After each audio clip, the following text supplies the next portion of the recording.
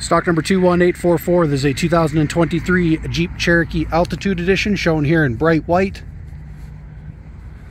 Black leather interior with seating for five. Heated and cooled seats up front, heated steering wheel, remote start.